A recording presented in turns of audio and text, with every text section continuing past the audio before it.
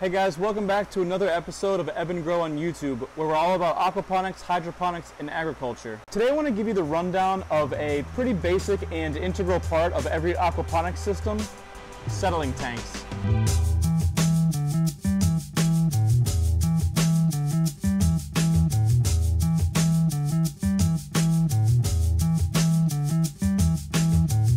So every aquaponics system should have a settling tank and the primary purpose of it is to collect the larger particles that are heavy enough to sink to the bottom.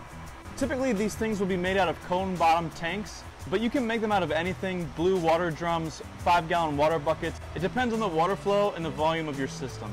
The cool thing about settling tanks is they offer a little bit of creativity because you can design them in a bunch of different ways. But today I just want to talk about the two basic ones that I've seen used quite a bit and those are a radial flow settling tank and a swirl settling tank. So let's get into it.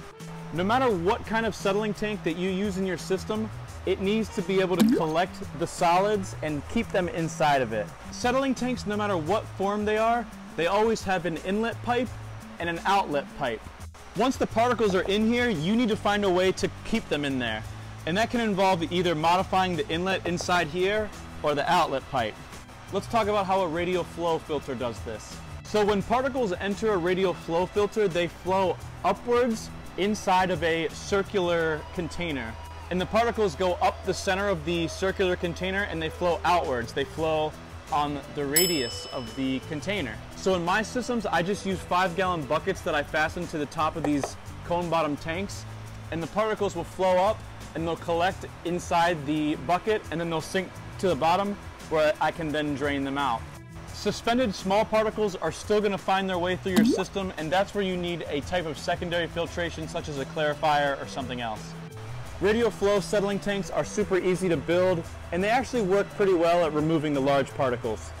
The next type of settling tank is a swirl settling tank. I don't have any of those in this system but I can still explain them to you.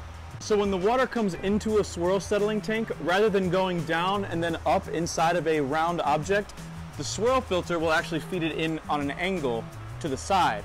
And ideally you want to put the bucket over your outlet pipe so it protects it from any particles moving into the outlet pipe. The swirl will then encourage the water to kind of go in a swirl inside of your tank to the bottom. Cleaner water will escape your outlet pipe. They both work. Personally, I, I think the radial flow filter works a little bit better and it's super easy to make. So before you get started with anything else in your system, plan on a way to remove the large particles through a settling tank, either a radial flow or a swirl filter. Hope that tip helps you guys.